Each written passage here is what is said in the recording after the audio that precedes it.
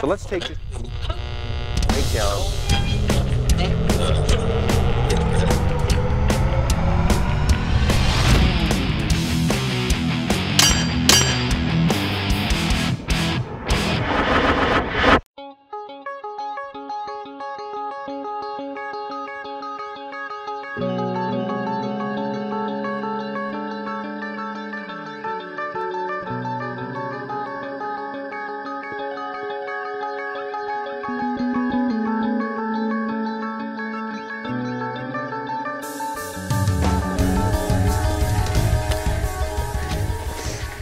Man, we just made it back up to the top here. Had a really good snow uh, last night. Rained like crazy down there in the basin.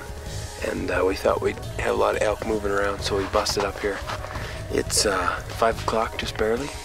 And Ian's got the tag, my, my oldest boy. Uh, he drew a good tag this year, so we're going to try to hunt him for a good bull. He's never killed an elk before. So I don't know how high his standards are. Probably anything that moves is in danger.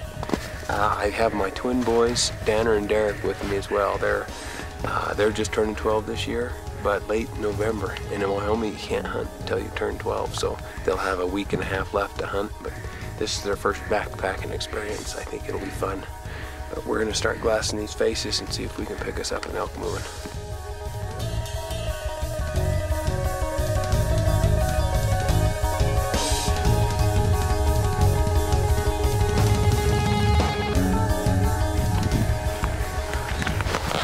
Got a couple young young bulls up that mountain face.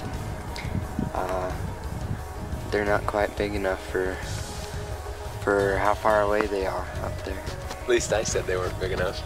They're, they're quite a ways up there across the drainage, and I've been on that face before, and that's a long ways. Good news is, is those young bulls being in this basin still means there's the, the other herd of elk's probably still here. They haven't been blown out. So that big bear track we saw down at the bottom probably didn't scare them all off. So keep looking. Let's see if we can find a bigger one.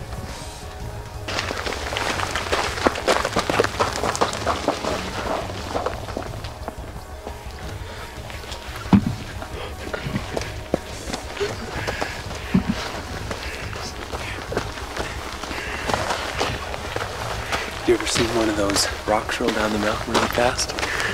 That was rolling really, really fast. What do we got? Big bull? Hope so. We've been hearing this big bull. He's on this ridge about a thousand yards away.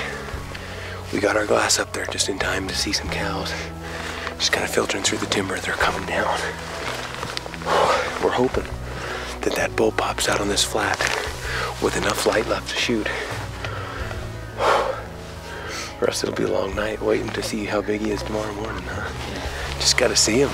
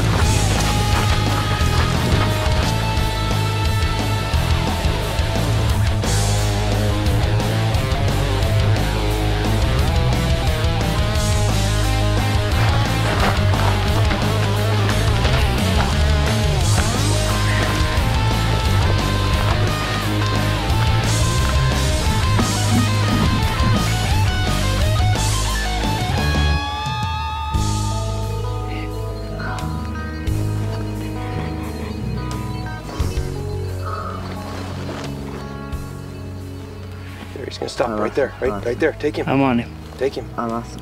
He's dropping the sagebrush to the left. You see him?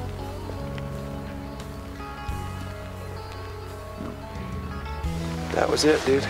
Hey, it looks like it's pretty dark. We had him run across here right in front of us. Looks like it's a pretty good bull. We're gonna try to get up on here tomorrow morning, and see if we can get on him when there's enough light to get a shot at him. But uh, if you'll uh, hold still for us long enough, we'll try to get him tomorrow morning. It's all over the place. We're out here on the edge. First shot, 25 mile an hour wind. Tell you what, that's a tough shot.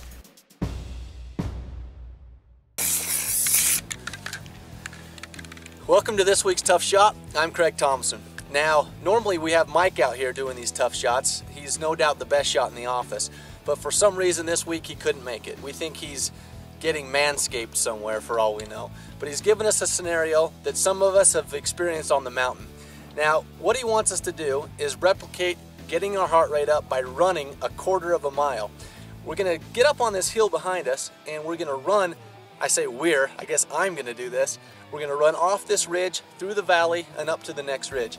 Now what we've got is a tip over that's about a 10 inch target. Definitely a kill zone target, and obviously it'll tip over if we can make this shot. So our challenge is to hit this target within 25 seconds of getting to this next ridge. Mike is thinking we can't pull it off, but Brian and I can. So while Mike's in getting his manicure, pedicure, whatever he's doing this week, we're gonna go make this tough shot, see if it's really possible.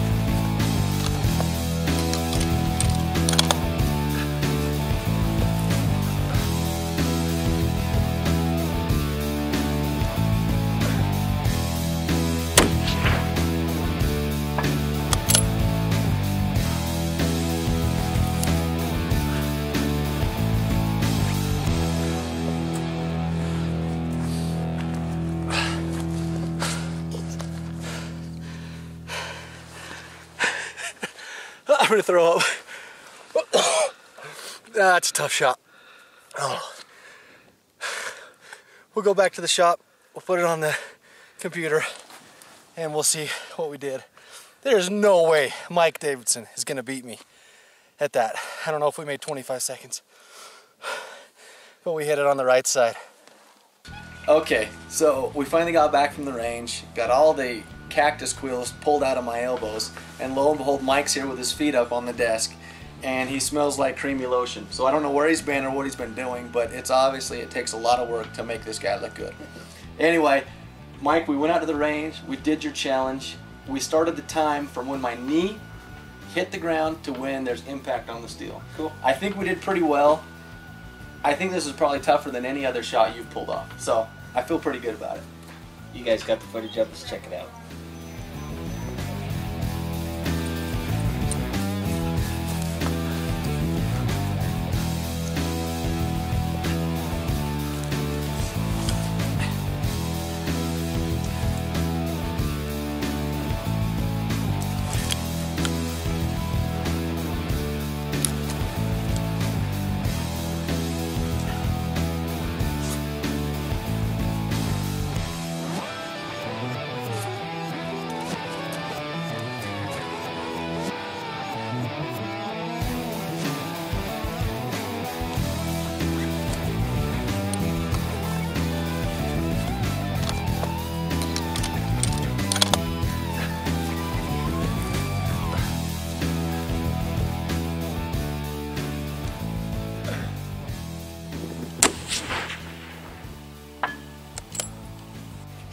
49.5 seconds.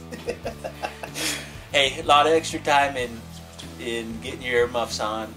Uh, it looked like you had your eye protection on. That's just something we got to do on those tough shots. Um, Yeah.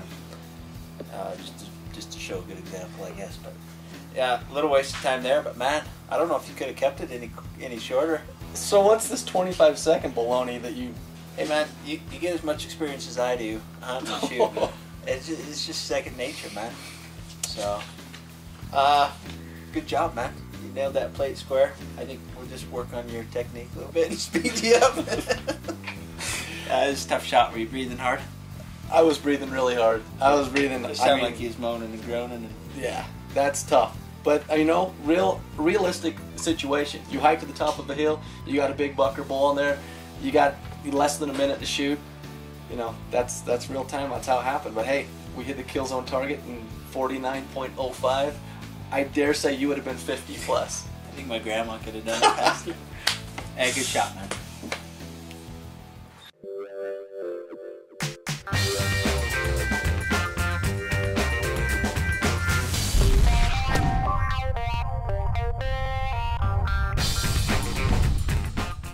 One of the most confusing subjects that uh, we, we have to talk about when we're using ballistics programs is the inputs that help us define what our air density is. Uh, a lot of different methods out there that exist. Uh, we're pretty keen on uh, a couple methods ourselves. Now, when we're talking about air density, essentially what we're looking for is the air pressure and the air temperature and then also humidity plays a small factor. Air pressure is just relating the amount of air that's that's in a column up above us and if we're higher on the mountain then we have a smaller column of air so there's less pressure, less weight of air standing on top of us. If we're down at sea level then uh, you know we have a little bit heavier column of air. There's two different ways to report pressure. Uh, the first is by measuring the raw reading where you're standing.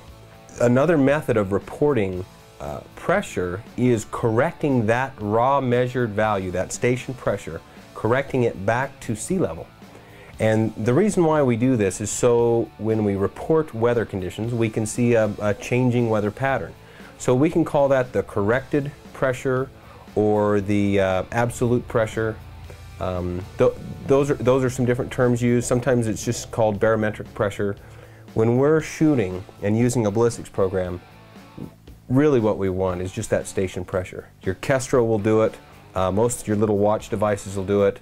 Uh, the G7BR2 rangefinder, that will measure your, your actual station pressure. Uh, those devices are the, uh, what we want to use to measure and the output from those devices is what we want to use in the program. Now let me show you a, a quick tip here. Uh, to eliminate a lot of the confusion on the pressure, I like to use an equivalent altitude. So if we go up on the mountain to 7,000 feet, uh, it automatically corrects uh, the inputs on your program for the station pressure that we're going to see. So that station pressure at 7,000 feet for standard conditions is 23.09 inches of mercury. Um, you'll also see that it gives us the, uh, the, the standard conditions for temperature as well. Now, it, when I'm shooting and hunting, most of the time I know approximately what the altitude is. Uh, and I can guess pretty close what the temperature is. So for me, using altitude, let's say we go to 6,000 feet now, uh, the standard temperature is 38, but I know that it's more like 60 degrees outside. So now what I've done is I've put an altitude in, I've got my standard station pressure, and now I've updated that input for 60 degrees for a little finer uh, input on my temperature. If I'm using my sta uh, station pressure measurement device, and I, I know this is actually 24.05, I can go ahead and make that input, and it will further refine the inputs on the ballistics program. Uh, so for any elevation that you enter into the G7 program, it is going to give you the standard conditions, station pressure, and temperature. And if you have any information that's even better than that, let's say you've measured your temperature, then go ahead and put it in and just let the station pressure ride, or if you've measured it, go ahead and enter that as well. Now, one last bit before we go. There is an, another way to use elevation to get uh, your, your air density. Um, it's called density altitude. This is fairly common in uh, airplane terminology. I've got a little chart here I want to show you. Density altitude basically just combines air density um, uh, by, by showing us the elevation or the pressure altitude with the air temperature, combining them into one number. It essentially relates uh, your current conditions, your temperature and your elevation, to uh, standard conditions. So uh, one way to do that is to you know have a device that outputs density altitude or have a calculator that does it. Or if you look at this chart, it explains how it works. If you've got a pressure, uh, let's say our pressure altitude is 5,000 feet and my temperature in Fahrenheit, let's say it's uh, 80 degrees. So 80 degrees, 5,000 feet, that gives me approximately 5, 6, 7, 7,000 on my DA. So each one of these uh, slash lines are my density altitude, and that's a single number that represents pressure altitude and temperature. Let's do another example. Okay, it's, it's pretty cold. It's zero degrees Fahrenheit, and I'm hunting up in Canada. Canada, we've got uh, uh, 4,000 feet elevation. So here's five and then four. So at zero degrees Fahrenheit, uh, my density altitude is approximately five, four, three, two, one, zero. So we're about uh, 1,000 feet is what my density altitude is. So that's a really unique way to uh, to simplify those inputs to the very uh, elemental number. A single number input gets you your pressure and uh, temperature inputs. I'm not a big fan of that because it doesn't necessarily relate to where you are right now. So uh, you should be able to use any ballistics program, any ballistics tool, and uh, get good inputs and good outputs. I'm Aaron Davidson. Join me next week for another shooting tip here on Long Range Pursuit.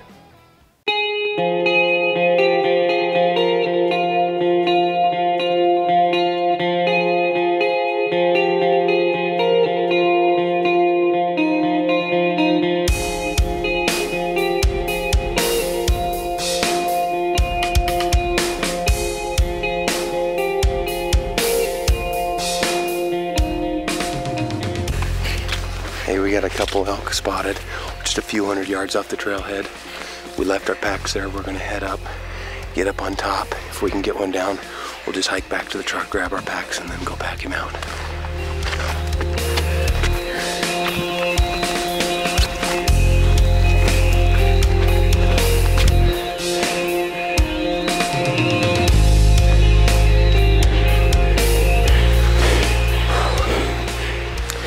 And they're just up there about Can't see them. They might have went in the timber.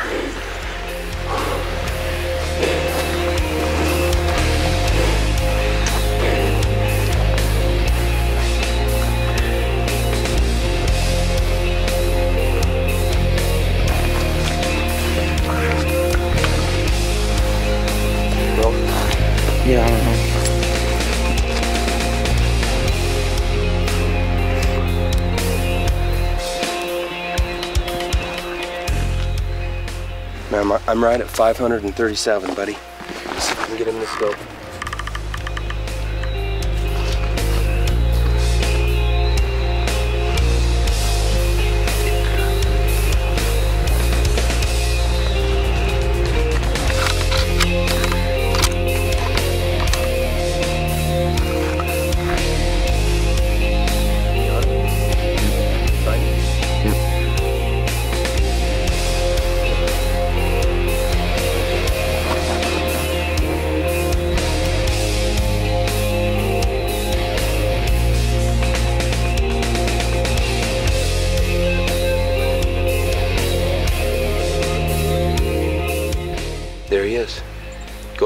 right there.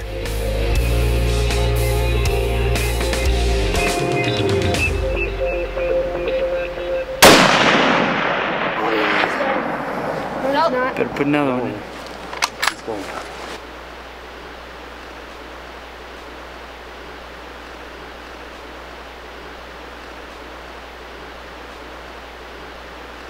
There we go, buddy.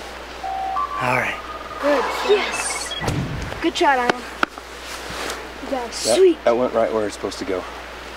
Right in the shoulder. Just took him a minute to bleed out on his lungs. Good shot. Finally. Well, the cool thing is, is there's an old abandoned forest road right below. We'll probably only have to pack out probably a quarter of a mile, 500 yards. That beats the five mile hike in that we did the last day, doesn't it? Yeah.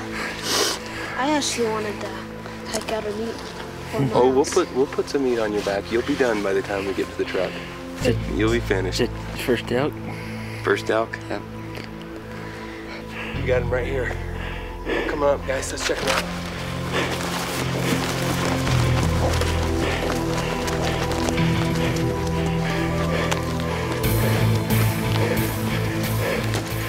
Looks like he's down. Right in the shoulder. Oh, right in the shoulder. Oh yeah. He's down. Nice. What you think, bud? Good first bull, huh? I can beat that next time. It's kind of tough when uh, when it's either hunting or football, right? Yeah. You get you take one weekend off, you miss a couple games, and you hope you're successful so you don't, you don't have to miss any more games. Did good. We worked really hard yesterday up in the snow. Had that snow on us all night. We were fighting 10 inch snow all morning, getting out of there. Yeah. I think we're gonna go ahead and quarter him up. I'll, I'll take a rear, Mike will take a rear. I call back straps. We'll probably take the back straps. You guys can take a front. What do you think? No, I call back straps. Lance just got to carry the horns out, right? no. Horns and cape. Yeah. Well, I got a sharp knife. Let's get to work. Hunting apparel for long range pursuit provided by Sitka and Kenetrek Boots of Montana. License applications made through Cabela's Tags. Brought to you by Gunwerks, G7 Optics, Nightforce, Hornady, and Caldwell Shooting Supplies. I was walking too far. A mile ahead of us. And there's a black By bear, himself. like 50 yards in front of me. And I ran, and he ran. Am I laying in a cactus? Oh! Oh! No, but you're laying on the rangefinder.